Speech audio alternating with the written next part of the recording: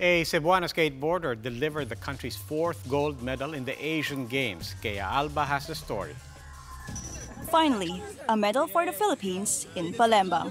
19-year-old Margielyn Didal has delivered the Philippines' first ever gold in skateboarding at its debut in the Asian Games. Margielyn immediately stated her lead, scoring 6.7 in her first run and 7.7 in the second. Margielyn scored 6.0 in her first trick, a backside board slide in the handrail.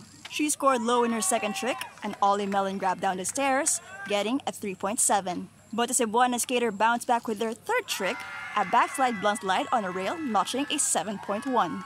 However, the Street League skateboarding and X Games competitor saved her best in her fourth attempt.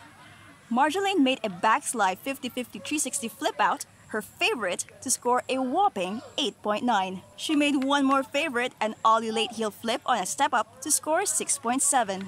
With the three lowest scores scratched out, Margielyn scored 30.4, the highest, to grab the gold medal. She became emotional upon realizing she had won the gold. She was also emotional upon learning that she was the fifth Filipina to have delivered the four gold medals in the 2018 Asian Games. Others in her corner also can't help but reflect how far the humble Cebu native has come. She started in what? Bangketa, rail, tapos this is new to her. But she delivered. I'm very proud of her because I was there uh, before she started skating, and then now we're here, and then uh, like I, I, hope like people understand that Margie came from nothing, and now we're here, and then we're all very proud of her. So salamat, salamat sa inyo lahat. Thank you.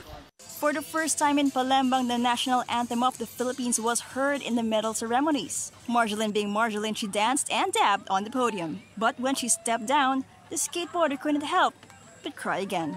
Sobrang saya po din. May dugong Pilipino. Sobrang proud. Their next target, qualifications for the 2020 Tokyo Olympics. But they haven't forgotten about home, as Margielyn will send her 6 million peso incentive to her family in Cebu.